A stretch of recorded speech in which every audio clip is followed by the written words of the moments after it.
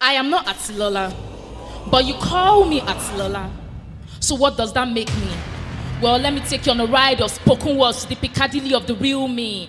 Two humans came together and prayed for a child that would solve all their earthly problems. One that will make wealth, create wealth, usher in wealth. But God surpassed their expectations. By patch that child who was be a vehicle for wealth, put me instead into the carrier bag of the baby carrying stock, and with his long beak, that white bird couriered me straight to their doorstep so that when they saw me, they exclaimed, Ha! Till my life refused to stay one last time, and in protest, he said goodbye the final time. Now that I'm dead, with no more human bags for you to punch without reason, tell me, does it make you a better person?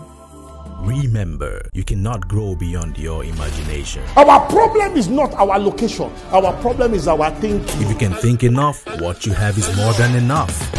Be fruitful, multiply, replenish, and subdue. Build this whole earth.